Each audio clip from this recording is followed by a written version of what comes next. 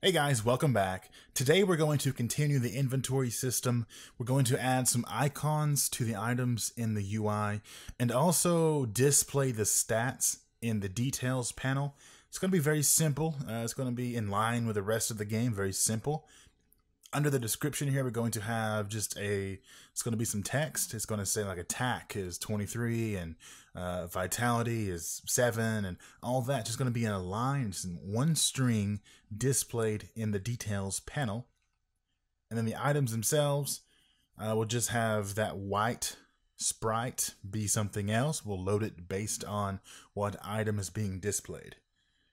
Pretty simple. So what I want to show you real quick is if uh, where we left off before, if you have an error like this right here saying that something is not assigned, uh, most likely what's happening, if it's the same error, if you followed along exactly, is we have a script execution issue. So they're fighting over what goes first, and then one of them's relying on the other one. It's depending on the other one, and it doesn't exist yet. So in Unity, scripts are executed in an unmeaningful way. They just get executed as they're created in that order. So we can go in and change the execution order. Say if UI event handler in this case relies on the item database to exist, well, we can make sure that the item database gets initialized before UI event handler. Just makes sense, right? So I want to do that real quick because that's what's happening, and I'm sure some of you have that issue as well. So I'm going to go to edit go to project settings, go to script execution order, and we have a list that we can add items to. Now I want to add the items. You'll see a bunch because we have a bunch of script files throughout all these folders. I want to add, first of all, item database. Then I'm going to add, let's see, UI event handler. And I also want to add inventory controller. That's all I should need for now. Um, UI event handler is going to rely or be relied on by the inventory controller, and item database is relied on by inventory controller. So that should be the, the order that works. Let's go ahead and apply those changes. And if I were to test this again, there, the error is gone. So we have the execution order set up so that it can work. And you may run into that again. You think, well, this should be working. Why is it referencing something that doesn't exist? This might be because it doesn't exist right when it tried to reference it. All you have to do is make sure it exists beforehand. Just one of those little quirky Unity things. It's okay though, right? So we're back to where we were. We have a sword and a log potion that we can display stuff in the display panel with, in the details panel. So the first thing I want to do is we're going to do the icons for the items. So to do that, we need icons, right? Now I'm going to be using some icons that I created that you can find if you go to game-icons.net. Now there's nearly 3,000 icons here. They're not all great, but some of them are really good. Uh, so to search through them, if you want a sword, you can come up here and type in sword and search it that way. Or you can come down here and go to uh, blade, sword, knife, and it'll give you all kinds of icons. These are free to use, however you see fit. And say I want to use uh, this sword right here, this little knife. I can come in here, I can select it, and then I can edit some stuff. I can change the colors of the background of the knife itself. I can add a shadow to it that I can make a cool color and make it glow if I wanted to in a, in a way, just like that. Or I can add a stroke to it. Well, I broke things, but I could I could add a stroke to it. It's a great it's a great site that I that I broke, and you could change the settings down here to um, use some predefined things, whatever you want. I have made a few icons. They're very simple. Obviously, it's all simple and, and it's free, and that's the idea. So I'm going to be using those. Just download the PNG and drop them into your assets folder. You can see them right here. They're not amazing, right? But they'll work for great placeholders. Maybe even you'll find a place for them in your game.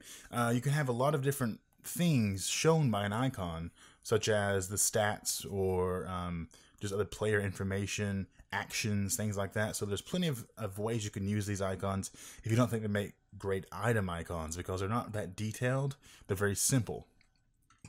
So what I want to do is I want to go back into my resources folder. It's going to be in there, of course. Go to UI, I want to create a folder in UI. It's going to be called icons.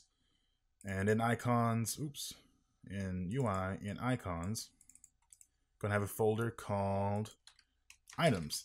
Now, these, the names for these icons, they have to match the, like the name that we use for the actual item prefab. So the item slug.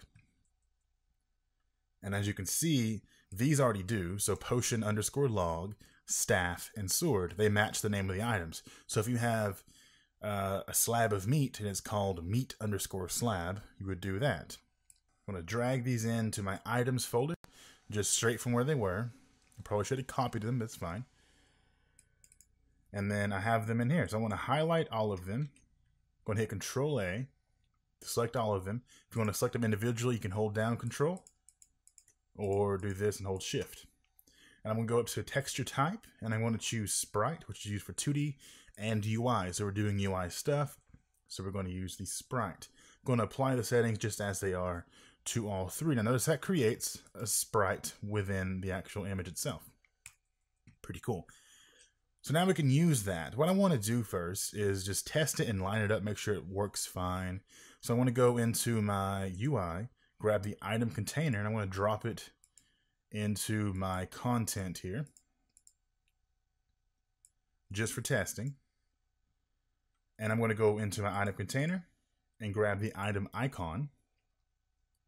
And back in icons, I'm going to just drag staff.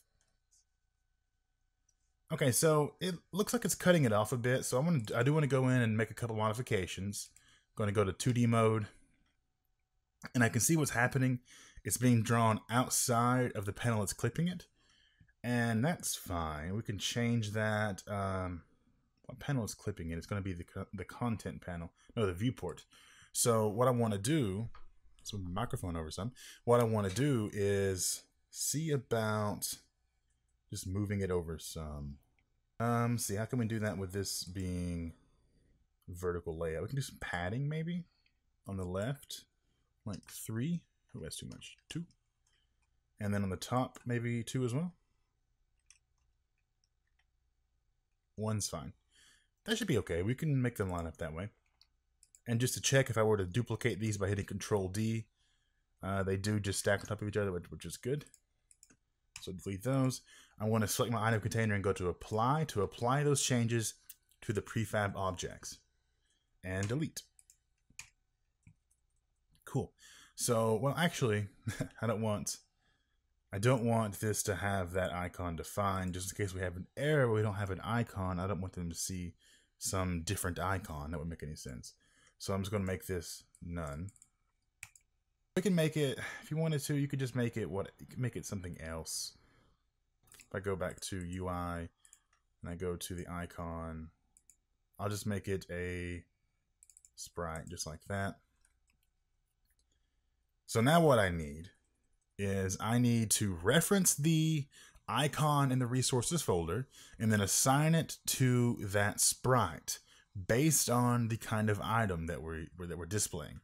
So go into Visual Studio. I've got a bunch of stuff up here, and I don't know what I changed there that's that needs to be saved. Um, gosh, I'm just going to close all this. What do I need open? We're working in inventory UI item. So I'm going to see if I can just close all but this and get it cleaned up that way. So now when I'm doing set item, I am going to assign the values to the objects, right? So I also need, you know, let's do it a different way. I want to assign these values when they're created. So let's go ahead and actually as a prefab. I'm going to create a public field, so I'm going to assign this in the inspector, and I want to call it, see, it's the text component, so to, it's going to be text. I'm going to call it item text. And then also for the icon, public image, item icon, or item image makes more sense.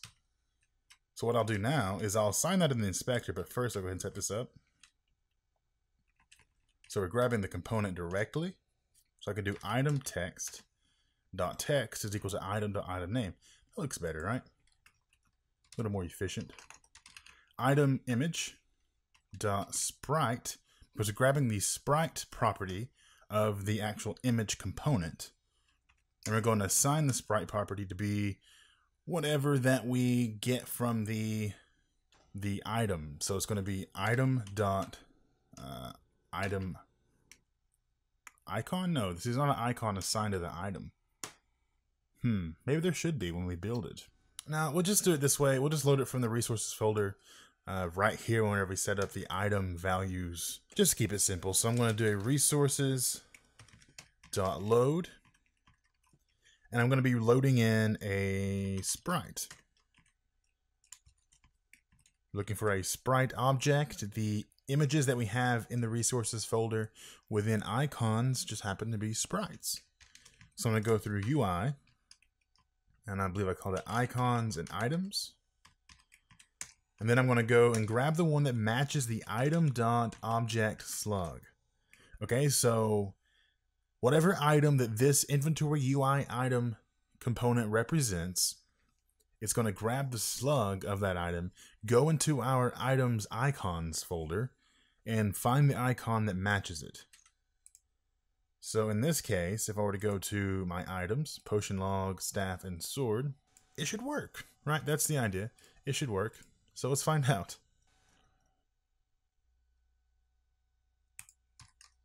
Okay, so that we have it. Uh, we have a sword with an icon and a log potion with an icon. They load right in.